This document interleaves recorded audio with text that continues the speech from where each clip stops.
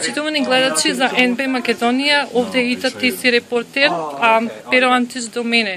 Здраво, како си? Одлично, одлично. Како и секој такмица, се подобри подобро, се прилагодувам што што можам поскоро, поради тоа што не сум навикнат на волку на тревари во една сезона.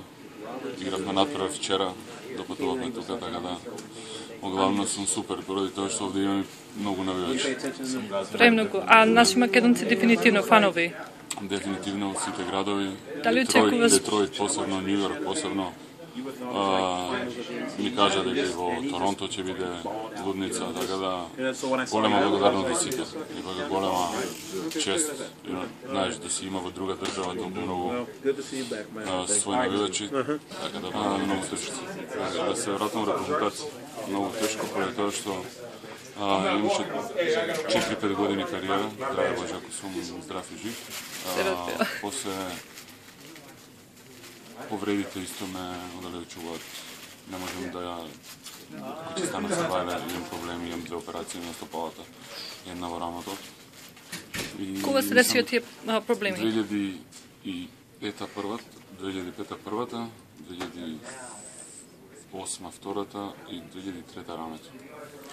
Окей, така да чекам. имам титаниуми во Воу. из цело тело, али не, нема веќе А имаше чека и нови, време... нови, нови тетоважи дефинитивно, извини што те прекнав. Има многу. и Дали баш се дека дали дека во Атланта дека се дојде имаш Уште не сум ставил овде. Немам Немаш, време. а- превари со патувањето ме Точно, еден начин. Ама знаев кога дојдев тука како ќе биде. Така да ќе точно. најдам слободно време за тоа. Тоа ми е хоби. И да наставам само Тоа за репрезентација да појаснам дека Кажи ми. дека време за смена на генерации. Не поради тоа не успевот. Кажав и на претходно интервју во Вашингтон на мислам што е како се вика емисијата таму. Не е важно како Нема како се вика, нема врска, дека не е заради тоа што се деси ова лето или не се пласиравме, нема веќе, ние продолжуваме.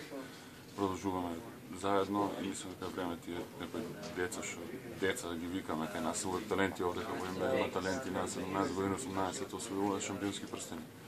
Така да мора да преземат одговорност, да отвориме места по старите и здрави со нови сили до нови успеси. Точно го право си. А да те прашам како е теран? Дали учат од тебе? Кој? Овие сите со играчи. Овде секој учи. Учат они од мене, ја од нив. Од Сите така. најмладите од најстарите. А, други типови на играчи, секој има свој его, друг тип на карактер. Едноставно учиш секој ден и од тренерите и од играчите. Со кого вака највеќе се и другара од со, со играчиве? Како Со сите Те прифатија? можам да кажам, со Ал, со Кајл, со, со сите сум подеднакво. Едноставно немаме многу време зван терен да се дружиме. Тоа е се со лекувална, во авион, автобус, хотелите и тоа. Сега ми стига утре фамилијата, за тоа сум супер. конечно. И така да овој момент го чекав. Браво. Што, што, што, што можам да слушам дека дури некои пријатели побарај трейд, треба да играш, ја знаев уште кога стигна во НБА како е дека треба дека моето име што сум го стварал во Европа, тука не важи ништо. Мислам им важи како што си направили, си имал програма специјална, имал сум тоа надпревари, а, се дели минутажата, се дели минутажата и ростерот против кој играме, се гледа другиот ростер, така да едноставно овде сум на некој постдипломски студии, да кажам, платени. Така да Друго уживам кажи, пред пак. Нема ништо. Окей. Едноставно уживам се ја, чекам да Мора. ќе побрзо, ќе помине побрзо. Сум направили за патување. Фамилијата сега ќе биде тука, ќе помине За нова година каде? дома со индијанците. Супер. Колку се колку овие деца да се колку разлика? Лука во февруари ќе ми прави 7 години, а Павел направи во ноември една година. Браво. Супер. Ајде за трето. Здраве, Може.